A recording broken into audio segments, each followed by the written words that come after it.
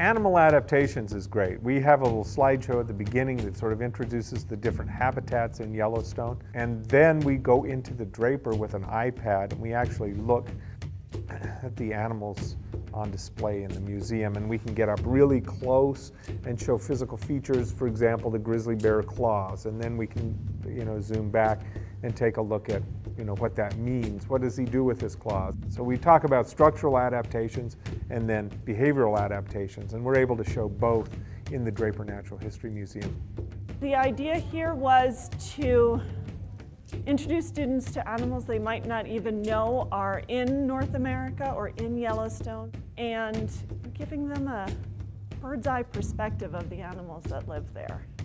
And it's wonderful for those kids to sort of see those animals that they may never have seen uh, in up close.